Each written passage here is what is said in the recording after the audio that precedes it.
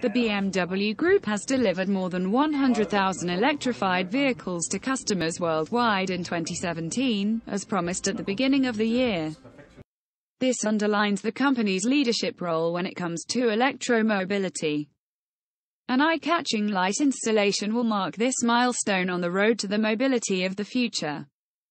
With the BMW Group headquarters, the world-famous four-cylinder, in the north of Munich, transformed into a battery. The BMW Group selected this glowing symbol to represent the technological change taking place in mobility. We deliver on our promises, said Harald Krüger, chairman of the board of management of BMW.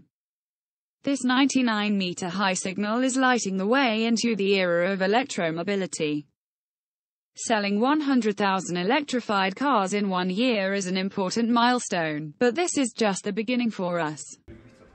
Since the introduction of the BMW i3 2013, we've delivered over 200,000 electrified cars to our customers and by 2025, we will offer 25 electrified models to our customers. Our early focus on electromobility has made this success possible, and electromobility will continue to be my measure for our future success. One of these many customers worldwide experienced a special surprise today. An 80-year-old driver from the North Rhine-Westphalia region of Germany collected his BMW i3 in Protonic Blue at BMW Welt in Munich this afternoon, making him the 100,000th customer worldwide to choose an electrified BMW Group vehicle this year.